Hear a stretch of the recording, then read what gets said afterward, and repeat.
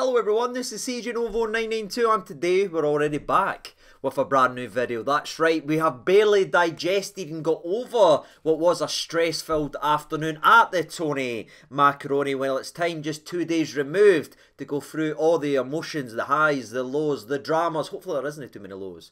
Right enough, but a mixture of everything that Rangers can give you. But at this time, it's not in the league. Na na na na na na na. We set our sights on the old Champions League. Now, I'm sorry, but if that phrase right there and that opening doesn't just get you going here in the Champions League and Rangers side by side, I don't know what else to give you, ladies and gentlemen, because it's that time again. That opportunity that we squandered last year is now upon us to set it right, and fingers crossed we are. But again, we can't jump right into that right yet. There is a two-legged tie, but before we even kick a ball, you know what we like to do here on the channel. We like to look at our dance partner. We like to see what they're all about. So without any further ado, let's just dive right into this bad boy. And as always, we'll start off with the oppositional preview and have a look at Union Saint-Gilloise. I think that's how you pronounce it. It probably isn't. Eh? I watched about 18 different videos and 6 different websites. It's close, but I think for everyone, so everybody can relax, so I'm not butcherizing that throughout the rest of the video, I'm just going to call them Union SG. You're welcome internet. I'm sorry, but moving on, ladies and gentlemen, because it's not just a very, very impressive name of a team that we're actually facing. No, no, no, no, no. This Belgium side actually has a lot going for it. And I think the longer you watch today's video, you the more you actually hear that. Because let's be honest, when the draw was done, when we saw who it was, we avoided Monaco, we avoided PSV. We heard a team that, without being disrespectful, that we hadn't heard too much about. And I think we all thought, right, that sounds like a very, very good draw. Maybe we've got a good team here to actually go ahead and face. But ladies and gentlemen, I wish I could say that. I wish we were playing a duffer side. I wish we were playing an easier draw. But we aren't, people. And uh, we're going to talk all about that because this is a side that last season got promoted up to the top division in Belgian football where everyone was writing them off after the trials and tribulations to get back to the top of the division. They were in there and they were expected to be bottom to near fighting relegation, but that never happened. No, no, they went all the way to the tip of the top, and after 34 games in the Belgium League, they were sitting six points clear at the top with 16 goals advantage on Club Bruges it was mental, ladies and gentlemen. You talk about Leicester City and everything and again, it's hard to put it into that context given how much money there is in the Premier League. But it's a similar story in terms of a team that no one fancied to be right up there battling and leading the league title with 34 games played. But, and there is a but, ladies and gentlemen, because of course, if they had went on to win the league, they'd be right into the Champions League right now. But they aren't eh?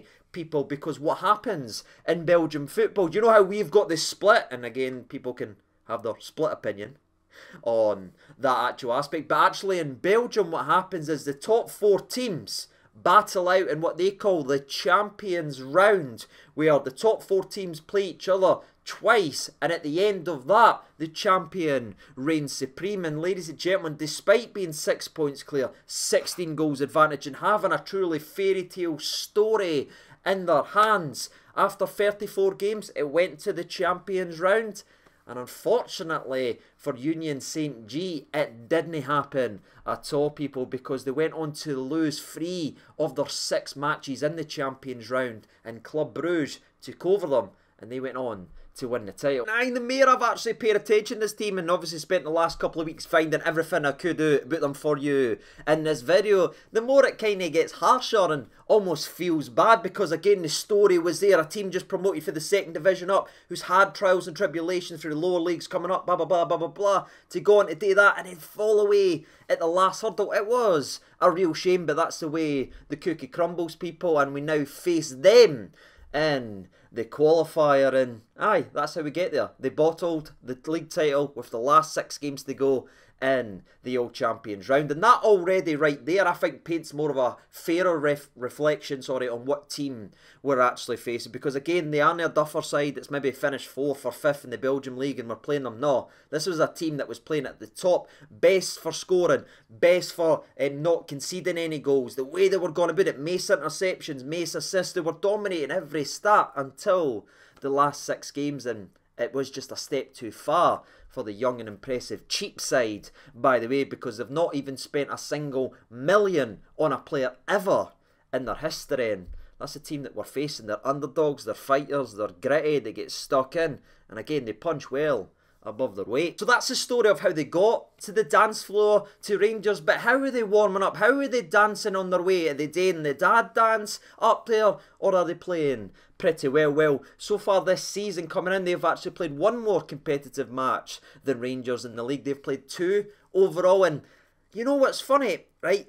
the way they, exploded onto the scene last season, beating Anderlecht 3 1 and everyone was gone mental, it's kind of been a little bit flat. It's got a lot of people talking because they started the league campaign with not a fantastic win over a title rival or anything like that. It was a disappointing 1 1 draw with STVV and a, and a game, sorry, that they required a second half goal to get back into the bad boy and coming into their most recent game of football in the Friday before we ended up playing them. Uh, they did get back to winning ways. They did get a clean sheet. That's what they built their success on last year. But again, it wasn't a great overall performance as they only managed to win 1 0 in the game, again relying on a second half goal to get them over the edge. So I, if I was sitting here being lazy and trying to do the bare minimum for these videos, I'd sit back and say they've got four points from the opening six. It's a good start to the season. They're playing well, but in terms of how they were playing last season, now the expectations and that there, it's not quite reflected and clicked just yet as the team as they're sort of finding their way on who they are now because of the devastating way the season ended. Because not only did that go ahead and happen, right? You look at the transfer business, has this team sort of changed from that? Yes, it has. There has been a couple of first team players leaving the squad at the end of last season, including, in my opinion, one of the best midfielders in Casper Nielsen, who went ahead and joined title pinching rivals Club Brugge for around five, six million pounds, and he was a big player for them in the middle of the park. And I, I just think they're missing someone like that in the middle, which is obviously a blow for them but very nice for us. Moving on from talking around the team, however, let's get in there and talk about on the park. How do they go about their business? How do they line up, etc., etc.? Well, they line up in a more traditional 3-5-2 formation that's built on keeping the ball, spreading the ball out wide, and getting the ball into the mixer as they're a shot heavy side, averaging 15 shots per game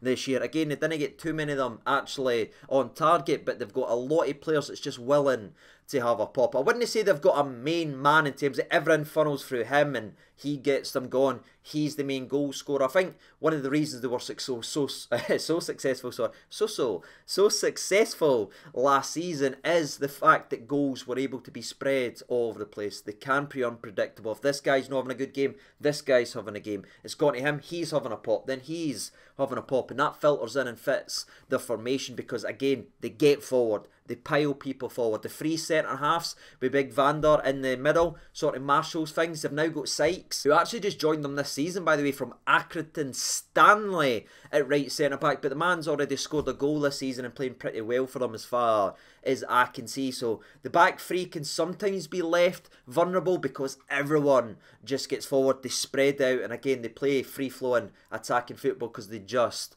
want to outscore the opposition. But again, they're a hard working outfit, as we've already mentioned. They conceded very little goals last year, especially through the opening 25 games. Oh my god, they were playing unbelievable because it was almost, you know how Leeds had that thing under uh, Marco Bielsa where everyone had a man in a game, and that was your man, and you had to run and you run and you and eventually was exploited in the Premier League. But it's very similar to like that as well, and we'll see that tomorrow from the first game. There'll be someone on that guy, and that'll be his guy for the entire freaking game. Sometimes it works, sometimes it can be exploited. It depends on the movement of the opposition. Hopefully, we're keeping switching and changing a Kent, a Lawrence, a Rabbi, everything like that, keeping them off uh, so they can get comfortable. And maybe a Tillman could be a key man. But aye, if we're flat, if we're lackadaisical, if we're playing everyone safe, that'll play right into their hands and they'll have a guy on us every single time we get the football. But regarding going forward, by the way, it is worth noting they're not really the most physically demanding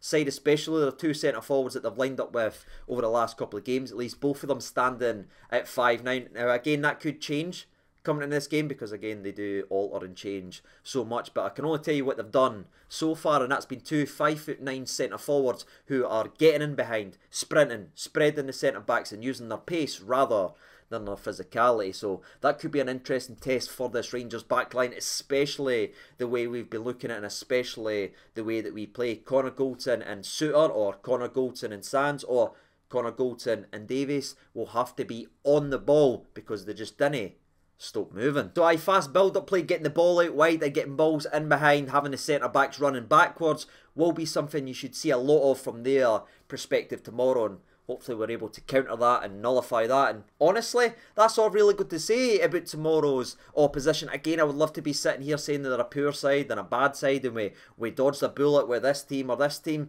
but we're playing a very, very good side that plays good football, hard working, no egos. It's a tricky, tricky game this tomorrow, and uh, it's going to be very interesting to see how Giovanni tries to counter them because, again, they are such an, a unique team to play, especially this early on the season when you've not got too many games under your freaking belt. But with that being said, ladies and gentlemen, that is the oppositional preview done and dusted. Now we get to the Rangers side because, of course, there is a lot to talk about right here from the centre backs to going forward. Who's back for injury? There's a big boost on that front. But before we get to the latest team news, let's talk about the centre back situation then, shall we? Because again, that's going to be the main battle for me. I know they like going out wide and they, they play wide, and I normally I'll say it, and especially in Europe, that will be where the game's won and lost. But I do think our centre backs need to be on the ball here just because how quick these boys run about and try and stretch the defence, etc., etc. Which leads me obviously to a talking point that I'm not going to go into in today's video because genuinely I didn't feel comfortable doing it. A YouTuber should never be here,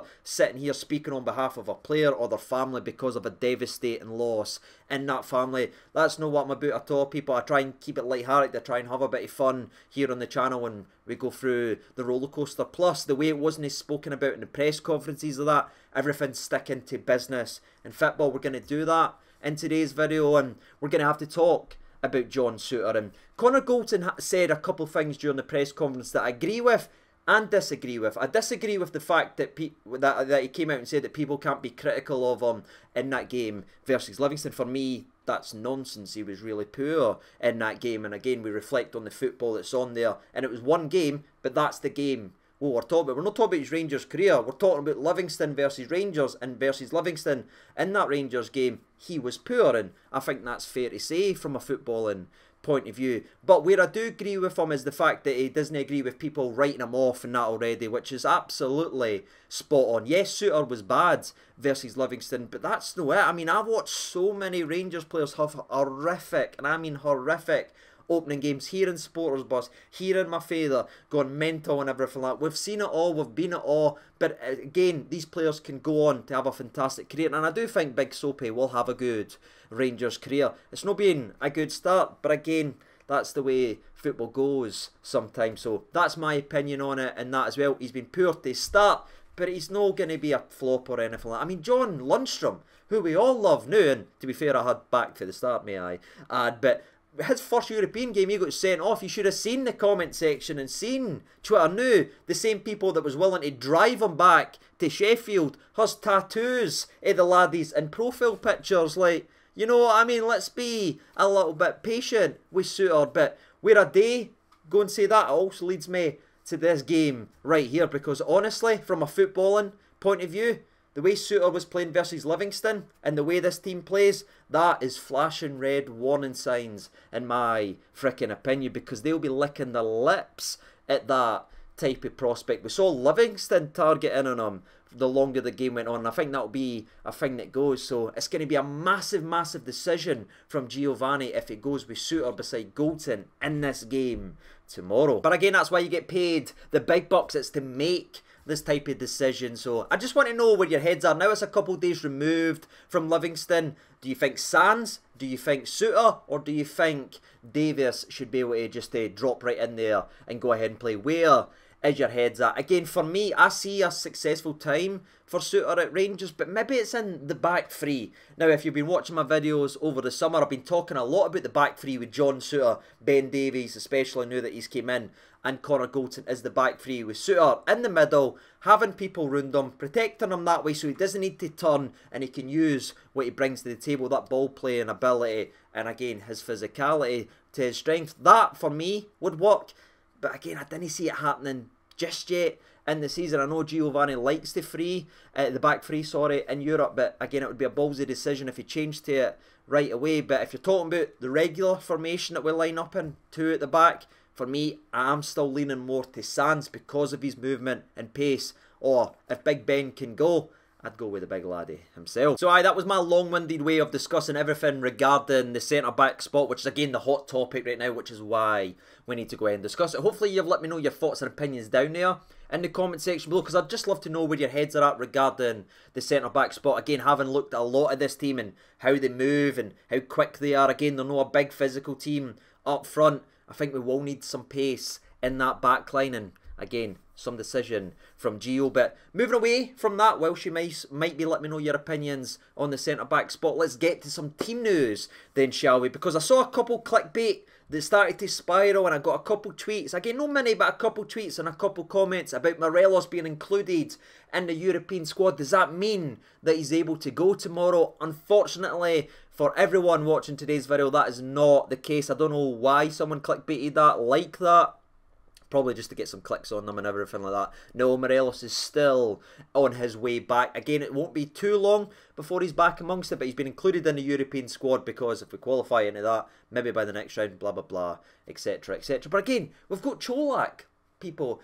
Jump on the Colak Express. There's plenty of room. There's like six years on this train, right? There's a 50,000 seats available. Get on the Colak Express. He's a good player. He had one chance versus Livingston. He scored. He was robbed by a horrific linesman. He's a good player, people. We're in safe hands until Alfredo goes ahead and returns. But he's not the only one officially ruled out the game. Of course, you've got Hagi, you've got Helander, and Roofe remains in this strange situation where they didn't tell us too much but they say he's no in contention or it might be or blah blah blah. So we don't know what's going on with Roofe for when he'll be back officially. But from the sounds of it, he's close to coming back, and it's a shame that he's not because what a record he has for scoring for us versus Belgian sides. I mean, he even scored his own half versus them, but aye, it doesn't look like Kemar Roofe is eligible. However, it isn't all doom and gloom. Right now, we do have some fantastic team news, people, regarding injuries, and that's the fact that we Rab himself,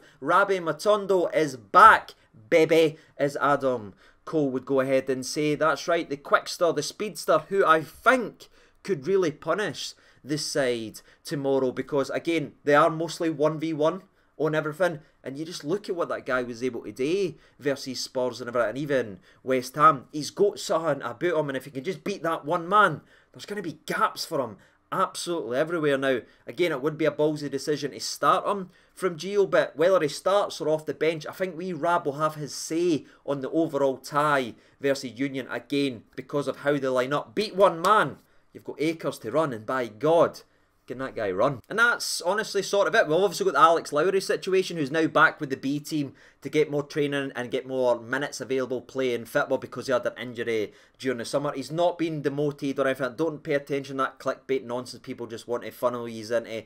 He's not been punished or anything like that. He had a serious injury. He's getting used in that situation to build him back up and he'll be back amongst the first team hopefully very, very soon. And again, Ben Davies remains the same. Getting more minutes, getting built up and hopefully we see him not too long as well. But honestly, that's kind of all I've really got to say here, people. We've talked about the opposition. We've looked at the main talking point, which is obviously the centre-back situation, and also for me, the key area in this game because of who we're playing. We've discussed the latest Rangers team news. Now, all that's left for us today is try to predict the unpredictable and Aye, it is going to be a tough game, in my opinion. So let me know your thoughts and opinions now. We've painted more of the picture. And while she's do that, I don't know, like, maybe I'm just being naive and dumb because I love my team and everything like that, because I know how difficult it's going to be, I know how good this side's been, but I just feel like we're going to get a good result, and I think even a draw would be a good result in the first leg, but I'm going to back us to win, with the same scoreline we won versus Livingston. Rangers 2, Union SG 1. That is what I'm going to go with, ladies and gentlemen. And again, Colak and possibly Rabbi being the difference makers in the actual game. And aye, this is all done and dusted, ladies and gentlemen. I can't wait for the game tomorrow. I look forward to watching every single second of it, being terrified and feeling sick, but that's what we do. Again, I'll be seeing you very late tomorrow if you're going to stay up to watch it. Then if you've got work on that, just just just go to sleep. You can watch the video the next again day. Look after yourselves, ladies and gentlemen. But aye, I'll be uploading very very late after the Champions League game tomorrow. But until then, take care of yourselves, everyone. All the best and bye bye.